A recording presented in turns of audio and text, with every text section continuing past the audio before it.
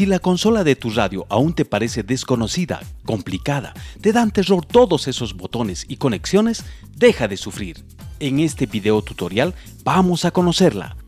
La consola no es más que una mezcladora de audio, permite sumar diferentes fuentes de sonido en una sola. Por ejemplo, voces de locutores, música, efectos, contactos telefónicos y más. Debes saber que existen consolas para diferentes tipos de aplicaciones, sonido en vivo, mezclas DJ, producciones musicales y radiodifusión. Hoy nos enfocaremos en las consolas más comunes que encontramos en nuestras radios, ya que el principio es el mismo en la mayoría de las consolas. Iniciamos con las entradas XLR o Canon que se usan para los micrófonos, ya que esta débil señal necesita ser preamplificada. Ah, no te olvides que los micrófonos de condensador requieren alimentación fantasma o phantom power de 48 voltios. Luego tenemos la entrada de línea con conectores TRS o plug. Aquí puedes conectar la computadora, reproductores de DVD, el receptor satelital, el celular y otras más que no requieren preamplificación. Si quieres evitar ruidos en tus micrófonos, como zumbidos o golpes por debajo de los 75 Hz, o sea frecuencias bajas, te recomendamos utilizar este filtro, Low Cut. Para esas voces con mucha energía o para esas suaves, el control gain o ganancia les ayudará a controlar el nivel de entrada de su micrófono. ¿Te gustaría mantener la misma intensidad en todo tu programa? Pues usa un compresor, aquí Comp ya sea que te pongas un poco loco o romántico, Comp te ayudará a controlar el nivel de audio.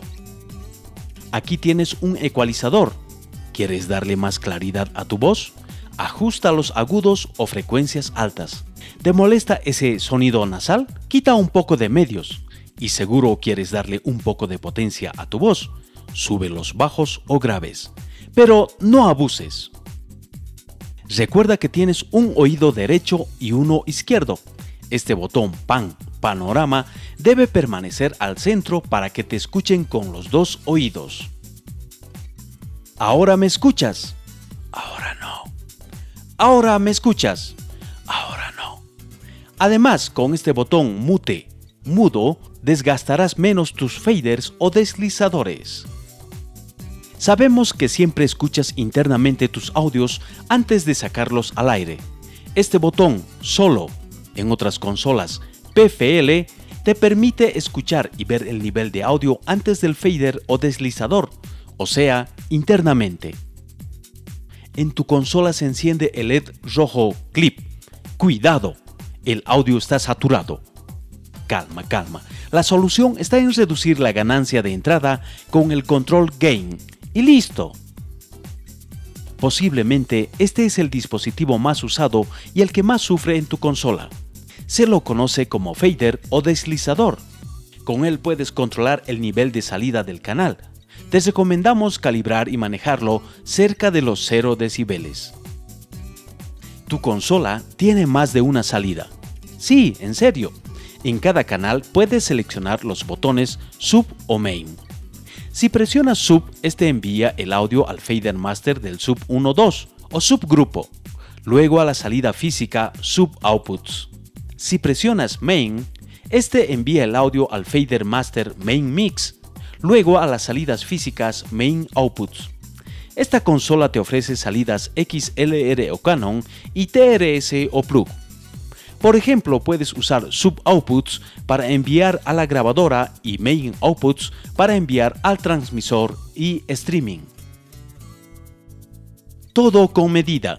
El audio se mide en decibeles. Esta consola tiene un dBmetro. Con él puedes controlar visualmente el nivel de audio en la salida master o sub. Recuerda, lo ideal es manejar los niveles de audio cerca de los 0 decibeles.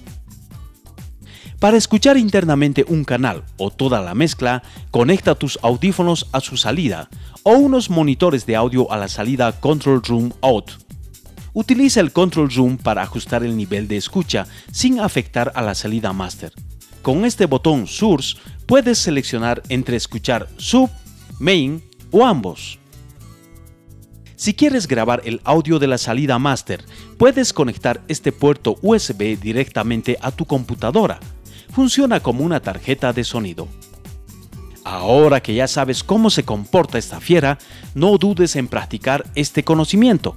Te aseguro que en poco tiempo habrás domado tu consola y ayudarás a mejorar la programación de tu radio.